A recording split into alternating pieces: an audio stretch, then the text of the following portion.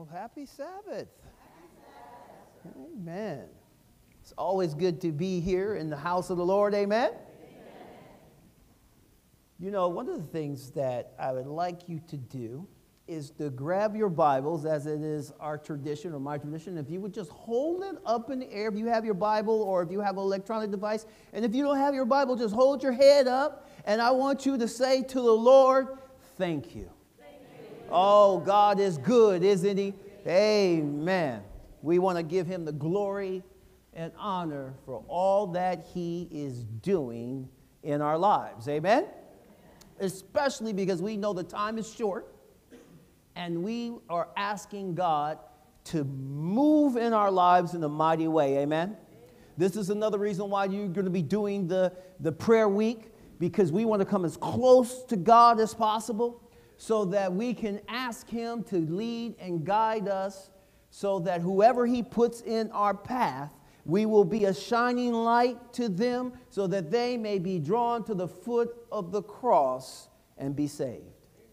Amen. Amen. Saints and sinners. Saints and sinners. Let me tell you a short story before we go to prayer. A few years back, I was in Walmart and I was in line and the, there was this gentleman in front of me, and then there were um, two shopping carts full of things. It was around Christmas time, right? And, and, the, and the gentleman, he had uh, two items. And, and the ladies were talking, and one of the ladies looked back and she saw the gentleman only had two items, and she said, Well, you can go in front of me. You, you can go. Would you like to go in front? And he said, You sure? You sure? And she said, Yes, go in front. And so he went in front. And then after he finished paying for his items, he said, Sir, whatever is in the cart is also on me. And he paid for it. Right? It was 250 bucks or so in that, in that cart. And, and the lady said, Oh, bless you. You're a saint. And then he looked and he said, No, no, no, no, no, no. God deserves all the glory. Amen. Now, I would like to say to you that both statements were correct. And I will explain it in a moment. Let's pray. Father God, your people have gathered to hear another word from you. Move across your congregation. Open our ears calls our, cause our eyes to see what you would have us learn today. In Jesus' name, your people said, Amen. Saints and sinners, two sides of the same coin. 1 Corinthians chapter 1, verse 2 says, To the church of God, which is at Corinth, to those who are sanctified in Christ Jesus, called to be, say that again, saints saints, called to be saints. You know, the last time I was preaching here, and I had addressed you as saints. And then after the sermon was over, a lovely couple who believes in the Lord God, we, ended up having a conversation in the back there. And, and, and the person asked me, she said, So, what, is, what should we be called? Should we be called saints or should be, we be called sinners? This is this great divide, right? And she felt like, no, I'm not a saint. I should only be called a sinner. And, and I was saying, well, well you know, I, I, maybe have a little different perspective. I don't believe that our, our sins is our identity. I think our identity is in Christ. And so I believe that we are saints who still struggle with sin, right? And so then I was, I was saying, you know what, us Adventists, you know, we, we, like to, we like to major in the minors, right? Things that really is, is not a salvational issue, but it, it was something that was sticking to me. I'm saying we have, you know, people who really believe in the Lord, who study the um, word diligently, love, love God, and sometimes we line up, even Adventists, on different sides of the, on the view on these different things. And one of the things I, I noticed, the reason why we do that sometimes, is because of definition. Is because of definition. And, and you know, it's similar to uh, one of the things I always think about is like my brother Pete. If, if Pete came up and was speaking a lot of Spanish to me, I might not quite understand everything that he is saying, even though we may be in complete agreement. And so I think sometimes that occurs. Now let's talk about the saints being called. Our calling is to be saints, right? Now, does that mean will I be a saint sometime in the future? In heaven, maybe? Or am I a saint now? Which is it? Which one is it? Again, I believe it depends on the definition one is using. You see, we, we even in the Adventist church, we have a lot of converts, a lot of people coming in, and they come in with different beliefs from different backgrounds, different things that they've heard and they've learned. Like, for example, let's look at the Catholic Church. If you look at the Catholic Church and most of the sister Catholic churches, one of the things they believe is that these exceptionally faithful people, not all, but these ones that was exceptionally good, they had really good works that they did on earth, that when they died, they became saints. Not all, just some, based off of what they had done while they were on earth. And so some of them would begin to be called saints.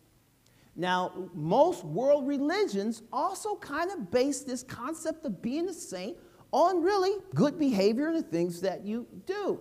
Um, they recognize exceptional degree of holiness, which we tend to think of when you think of somebody being holy, you think of them being like sinless, right? Doing all the right things. And so to the most degree, most churches say that, or most religions say, a saint is someone who is holy, very close to God. So I wanted to look up some definition. We talked about definitions. So I looked up the Strong Concordance, and there were several definitions. And I wanted to use definition number four. It was the fourth definition down because I believe that is what a lot of us use when we think of saint. We think of our behavior. We think of what we look like when we think of the word saint. And so the number four definition for saint in a moral sense, it means pure, sinless, upright, and holy. And if you use that definition, none of us are saints or can be called saints. In fact, there is only one, the Lamb of God. He committed no sin, and no deceit was found in his mouth. There is only one moral saint, and that's Jesus Christ, our Lord and Savior, the only one who was sinless. So, how does that leave us? Wait a minute. Well, does Paul agree with this? Well, Paul goes on and says, All have sinned and fallen short of the glory of God. He goes on and also says, What I will to do, I do not practice. And what I don't want to do, I do. Later, he, he ends it and he says, For it is no longer I who do it, but sin that dwells in me. He began to separate the identity from the sin problem, right? And so we see here, yes, that we as saints, we struggle with sin. So does that mean then we should define ourselves as simply sinners? Is that the only definition was used? So let's look further with the Greek translation. It says the number one definition implies something set apart and therefore different. Do you remember what Second Peter says that when God tells us that we are royal priests? Chosen, holy nation, special possession to God for his holy use and purpose to remind everyone of how he called us out of darkness into his marvelous light. God has set us apart for him. Oh, you like that definition? I like it. It goes on to explain, which denotes individuals who are consecrated to God, set apart for his special purpose, and considered holy by God. By God. What about the New Testament writers? How did they view this subject? Well, do you know they used the word saints 62 times to describe the people of God in the church? The word saint is only used 100 times in the Bible. 62 times it's used to describe the saints, God's people. 62 times. So, how are we to understand this bit? Let me grab this coin for a second here. And, and Pete, can you come over here for a second? Just real quick. I'm going to show you this coin. And Pete, take a look at it. Now, there's, there's no secret, I like the Pittsburgh Steelers. I'm a football fan, and this is a, yes, a coin that my wife got me when the Steelers won the Super Bowl back in 2006. Yeah. And what's on the front of that coin? The Pittsburgh Steelers helmet. Pittsburgh Steelers helmet. What's on the back of it? The, the logo of the NFL. Logo of the NFL is on the back, right? Right. Why isn't this called a Pittsburgh Steeler NFL item? Why isn't it called that? What is this called? Coin. Coin. Why is it called coin instead of a football helmet or a NFL logo item? Who, who, who named this? Oh, you, you're not joking there. That's my sister right there, boy. We, but who named this item? Who, you can sit down, Pete. Who, whoever created it, right? They named it and they and the and the governments came and they assigned value. This coin has value, right? And they named it a coin. Doesn't matter what's on the front or the side of it. These items can be used to describe, but its identity, what you will always say, this is a coin. You won't use any other word for it. And so I'd like to suggest to you, in the coin of life, we have two sides of the same coin. Part of me have the Holy Spirit, and that represents me and God working in me, changing me, molding me, guiding me, reshaping me, changing my heart and my mind, putting His laws on my heart and my mind. Amen? And the other side is the fallen nature that God is trying to change, that has some des- still some desires there that we're trying to shake free and break, which is the flesh.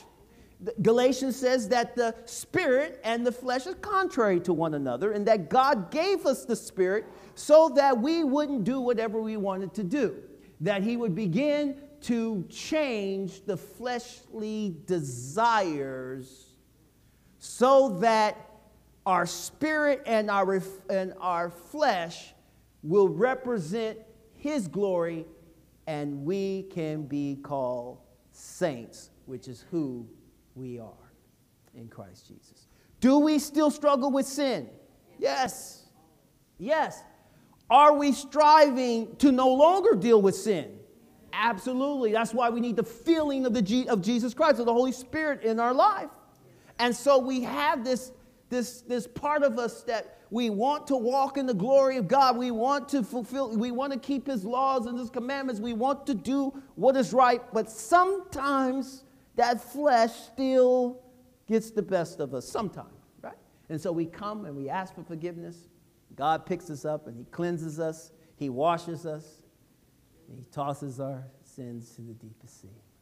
See, when we think about this concept of what we are and who we are, this is how we think in life. If you're a plumber, people think you're a plumber. If you're an engineer, people identify you as an engineer. If you're a doctor, people think of you as a doctor. They still call you by your, you could be in here and they'll say, Dr. So and so, right? Because they, they try to identify with the things that we do. And when people who are in prison and they have committed crimes, when they get out, people still identify them as ex cons, even though they can go on and do many good things for, the, um, for the rest of their life. Many people identify them as cons. But that's not how the scripture sees it. Jesus, over here and through Paul, is explaining, talking about these different uh, things that people have done that will not allow them into heaven. Will pick up here nor thieves, nor greedy, nor drunkenness, nor slander, nor the swindler will, will inherit the kingdom of God. And that is what some of you were. Past tense. Why past tense? Some of them are still struggling with sin. Why past tense? Because he said, But you were washed. You were sanctified, you were justified, and in the name of the Lord Jesus Christ and by the Spirit of our God. You are not to say that's what you are. You once were, but no longer. You have been called to be set apart. When we use the definition of saints, we should always use it in the form of being set apart. So, what does that mean? What does God want about us being set apart? Well, He says, For you are the temple of the living God. As God has said, I will dwell where? He will dwell where? We need to be remindful that as we go out through our day, God is saying, I want to dwell in you. I want to dwell in you. And he doesn't stop there. He gives us something else. What did he say? He says, I will be their God, and they shall be my people. What a beautiful promise, right? And then the very next verse, verse 17, verse 17 says, starts with, therefore. Therefore, what? Why, why does he use a therefore? Right? Well, we, we, we, we go back. He says, because you are the living temple of God and God is trying to dwell in you, therefore, come out from among them and be separate, says the Lord. Do not touch what is unclean. Why is it so important for us now, if we, God has set us apart, why is it so important for us saints to be, to not touch things that are unclean? Why is that so important to the Lord that we are set apart for Him and we should not touch unclean things? Why? And we're not talking about pork here. Why do you think that's so important? Because we have struggles, right? And we fall. Why is it important to, to attempt to stay away from those temptations and different things? Because of Jesus Christ living in our lives. Let me share this with you. Let me share. Protect your testimony. One of the greatest gifts God has given us is a testimony. We need to treasure our testimony. Too many of us Christians take our testimony for granted. In my early days of being in the church, I took my testimony for granted. I no longer take my testimony for granted. Protect your testimony because God gave you a testimony so that He may be glorified in somebody else's life. Somebody who is struggling with something, God has sent you before them to call them out of it by you testifying about what God has done for you. Amen. But if we're running around wild and loose, if we're running around looking just like the world, if we're saying things just like them, if we're doing things just like them, if we feel just like them, if we're hating just like them, if we're condemning just like them, if we think we're better than other people just like them, then we are not set apart. We're part of the group. Amen. Part of the group. Protect your testimony. God says that we are a city on a hill. That's your identity. He says you're a city on a hill, hill with a light that cannot be hidden. He says that, that, the, that, that the light stand burns the light for all who are in the house to see. That's Him shining through you. He goes on and says, Let your light. Many of us say, Well, I, I, that's not my light. That's not my light. You're correct. It's, your, it's Jesus working in you that's causing you to shine.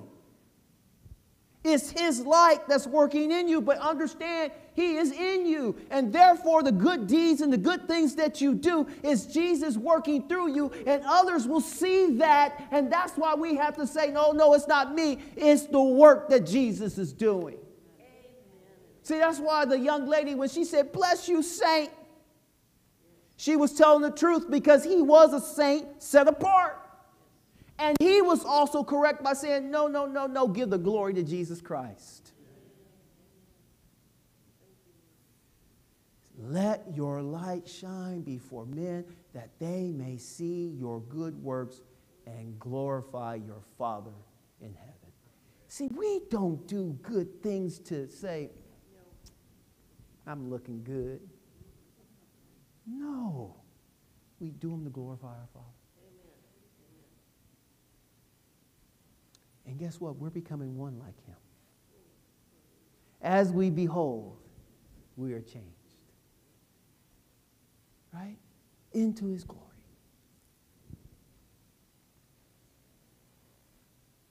Sing unto the Lord, O ye. Let me, let me say that again. Sing unto the Lord, O ye saints.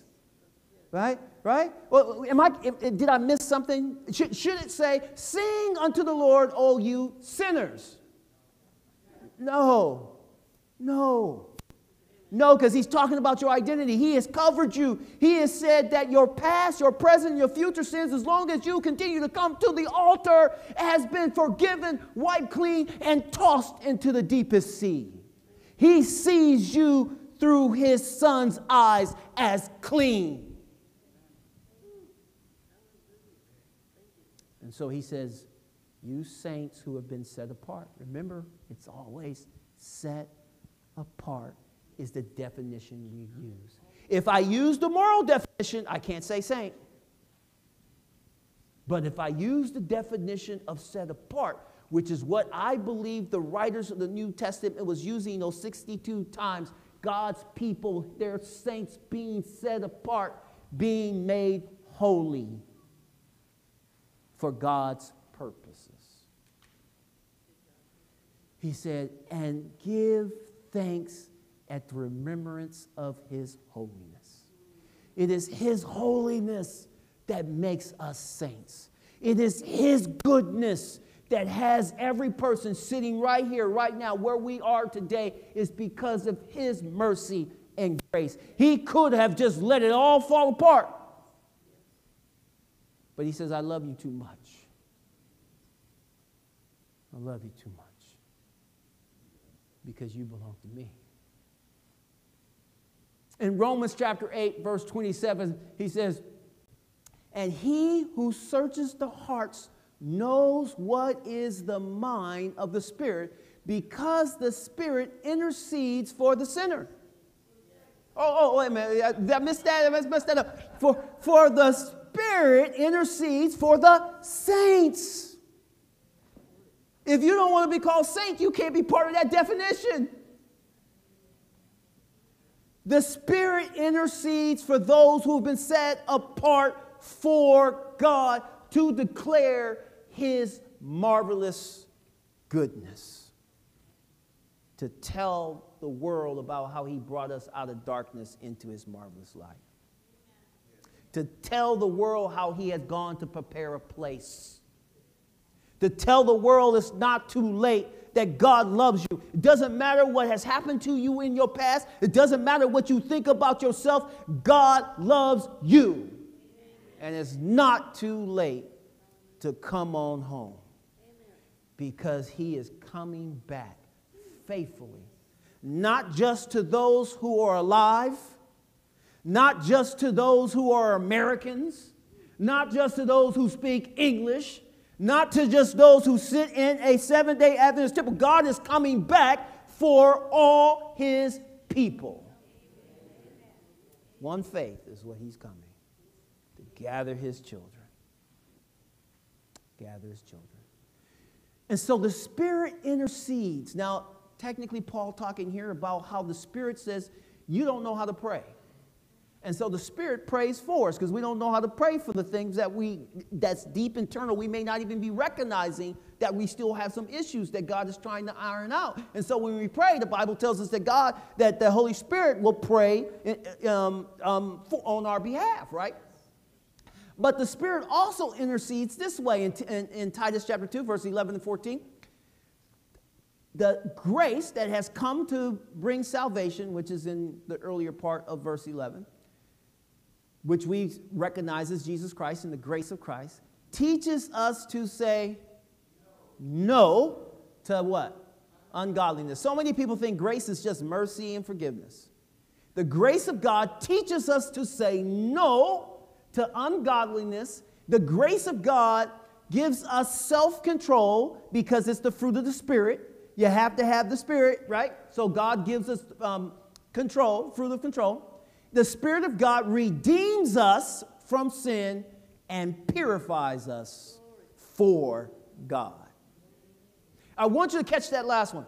In that text, you can look it up, it does not say, and he purifies us from sin. It says he purifies us for God. That relationship. God wants his family, saints.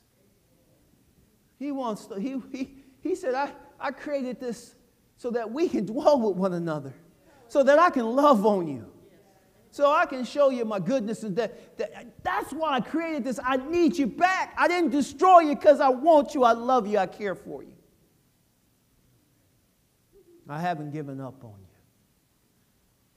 Why does he do so much for us? Let me end with this, saints. I will be a father. When we think of a father, what do we think of? What was that? A failure? Oh, I'm sorry.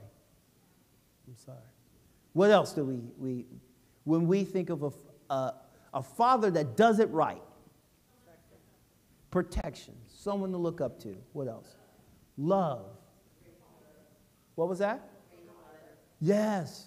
So, provider, love, protection all, these are all things a father should be, right? A father, a, a, someone who is true father. If the house is burning, the father makes sure everyone's out. If someone else is still in there, the father doesn't say to the mother to go in there. The father says, No, no, stay here with the kids. And the father runs in and brings the, brings the child out. It's the father, if someone is a criminal comes forth and he has a gun, it's the father who says, Stand back behind me. And he takes the bullet if, if someone's got to take the bullet. And Jesus Christ, the father, came down here and he took the bullet of sin. He died on the cross. He rose again. He's sitting on the right hand side of the father and he says, I will come back again for you. Oh, He is our provider, our daddy, our Abba, who says, I love you unconditionally. Come home, and I will set